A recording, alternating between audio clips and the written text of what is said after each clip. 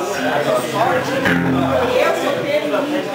Essas bandas de periferia é foda, viu, mano? Ah, então, falar em bandas de periferia, essa é uma história de uma garota da periferia aí.